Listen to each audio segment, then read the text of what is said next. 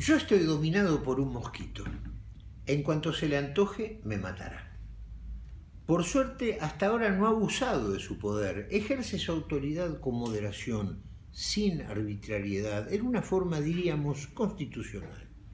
Pero, en cualquier caso, debe sobreentenderse que mi obediencia no emana de un reconocimiento de sus méritos o virtudes, sino del temor que me infunde.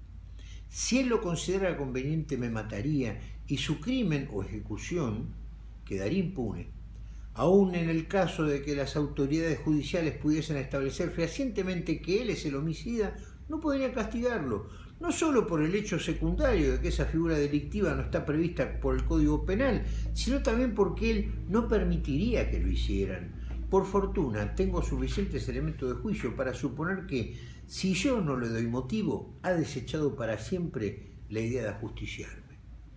Él se halla sobre la pared, cerca del vértice de un cuadro pintado al óleo que representa un paisaje imposible donde dos pastoras, al parecer españolas, con sendos callados, conversan sobre asuntos desconocidos, rodeadas de dóciles ovejas, el recto lomo de una de las cuales coincide horriblemente con la línea del horizonte.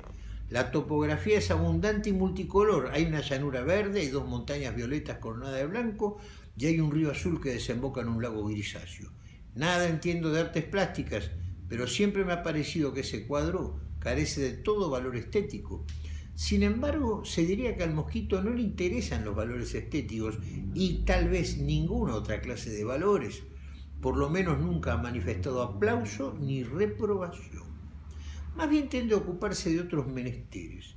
Durante la mañana le agrada recorrer la casa, quizás sin un fin determinado, pero el hecho es que desde el comedor, donde ha establecido su sede gubernamental, se dirige en primer término hacia la cocina, donde parece, pero sin duda es una mera imaginación mía, interesarse en el brillo de una cacerolita de mango negro y alargado.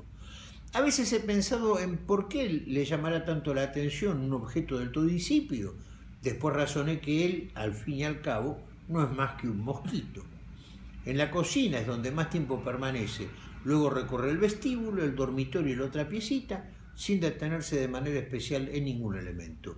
Creo que su fin es menos controlar el buen funcionamiento de la casa que ratificar la autoridad sobre sus dominios. Al mediodía, para ser más exacto a las doce y media, almuerza. Su dieta no es variada. Todos los días come una rodaja de morcilla vasca que yo le sirvo en un platito de porcelana. Él no admitiría otro. Aún recuerdo el día en que rechazó una tajada de morcilla criolla que yo, en mi obsecuencia, le había llevado para ganar su favor. Tuve que bajar presuroso hasta la carnicería y comprarle su manjar preferido y excluyente. Una vez que he dejado el plato sobre la mesa, debo retirarme enseguida, pues no quiere que haya nadie presente mientras come. No obstante, también yo tengo alguna dosis de astucia y en ciertas ocasiones, cuando no tengo otra cosa más urgente para hacer, lo espío a través del ojo de la cerradura. Lo cierto es que esta es una acción bastante tonta, no hay nada notable en lo que veo. Apenas el mojito tiene la seguridad de que yo he abandonado el comedor, desciende con lentitud apropiada su investidura hasta el plato de porcelana. Luego clava su trompita en la morcilla y sorbe con calma y avidez la sangre, despreciando paradójicamente los trozos de nuez, que son los que diferencian la morcilla vasca de la criolla. En esta acción no hay nada que lo distinga del resto de los mosquitos del mundo. Su almuerzo dura por lo general entre dos y tres minutos. En realidad he mentido al decir que lo espío cuando no tengo otra cosa más urgente para hacer. Lo cierto es que lo espío todos los días. Es fascinante penetrar en la intimidad de los poderosos. Una vez que ha satisfecho su apetito, lo invade una suerte de modorra y pesadez, y en apariencia ya no puede regresar a su residencia vecina al cuadro de las ovejas. Prefiere dormir entonces una especie de siesta sobre el zócalo, en un preciso lugar en que la pintura está algo descascarada. Se despierta eso de las cinco de la tarde y ya no vuelve a recorrer la casa. Se ubica de nuevo junto al cuadro y permanece allí hasta la hora de la cena. A propósito de estos detalles, supuse que el conocer con tanta exactitud sus hábitos de vida me proporcionaba alguna ventaja para deshacerme de él. Lo intenté una sola vez Tan mal me fue que no sé una segunda. Los hechos, no me avergüenza recordarlos, se produjeron de la siguiente manera.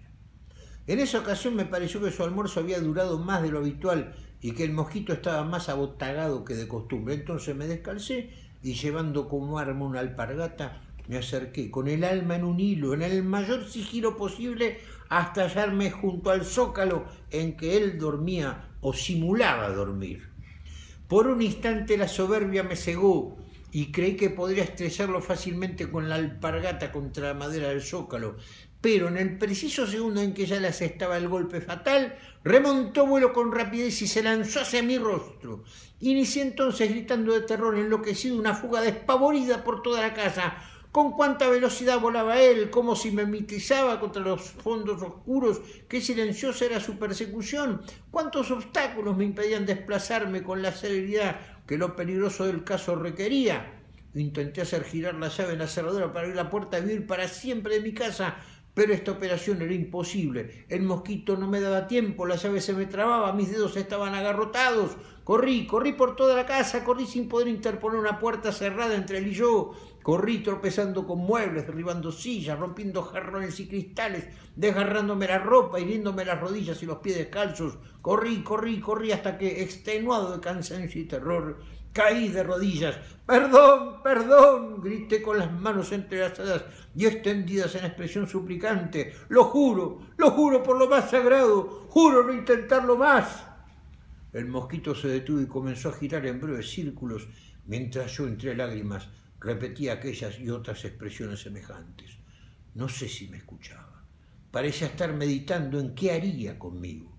Tenía que tomar una decisión importante para la cual sin duda necesitaba la reflexión que solo facilita el silencio. Y yo, en vez de permanecer callado, seguía gimiendo, anhelante, jadeando, con las ropas empapadas de transpiración y llegando con todo a observar que las venas de mis manos estaban hinchadas y azules, casi violetas casi negras. Él pensaba, reflexionaba, cavilaba. Era evidente que no se precipitaría a adoptar una decisión de la que luego pudiera arrepentirse. Revoloteaba y revoloteaba, cada vez con más lentitud, como si fuera a detenerse, pero lo exasperante era que no se detenía.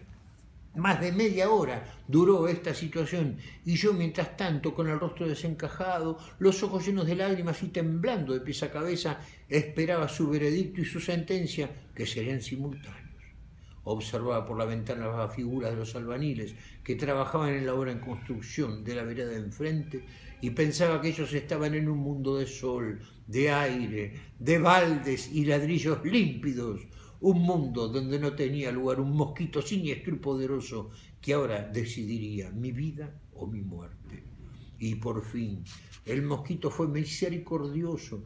Con indecible alivio vi cómo se dirigía parsimoniosamente hacia su zócalo, sin vanidad alguna, pero seguro ya de que yo no me atrevería nunca más a molestarlo. Después de este episodio comprendí que debía resignarme a mi suerte. Al fin y al cabo, poco es lo que se exige de mí sus dos tajadas diarias de morcilla y el platito de porcelana. Tengo, sin embargo, un escrúpulo, uno solo. Me subleva, me hiere, me humilla estar dominado por un ser tan pequeño, un ser que apenas pesa unos pocos miligramos, cuando mi peso es de casi 80 kilos. Al mismo tiempo, no me siento en absoluto disminuido por estar bajo las órdenes de un ente irracional, un ente que tiene literalmente cerebro de mosquito. Quizás esta resignación se deba a que muchas veces fui subordinado de gente que no tenía mayor inteligencia que un gato y sin duda mucha menos belleza. Pero, así como tengo un escrúpulo, tengo también una esperanza. Sé que la vida de un mosquito no dura sino unos pocos meses. Por eso, cada mañana echo una furtiva mirada al calendario, esperando el día en que pueda marcar con un lápiz verde que tengo oculto la fecha en que el mosquito muera. Sin embargo, por otra parte, mañana se van a cumplir 20 años desde el día en que fundó su imperio. Esto, aparte de contradecir las leyes naturales, me sumerge en una suerte de alucinación, el pensamiento de que el mosquito es inmortal. De ser falsa esta idea caben a su vez dos posibilidades. La primera es que ese mosquito no haya sido siempre el mismo y que durante la noche, cuando yo estoy durmiendo, se produzca el relevo del mosquito moribundo por otro más joven y fuerte. me ha llevado a esta suposición, el haber encontrado una mañana al pie de la mesa del comedor el cadáver de un mosquito. Es cierto que esta no es una prueba decisiva, no tengo ninguna seguridad de que ese mosquito muerto sea el que me tenía dominado. ¿Acaso fuera un mosquito común y silvestre, de esos que abaten la palmeta y el insecticida? La segunda posibilidad excluye a la primera. El poderoso podría ser el mosquito muerto, y el que se halla junto al cuadro de las ovejas, un mosquito usurpador, sin poder ninguno, que basa su autoridad en una cuestión de investidura o similitud.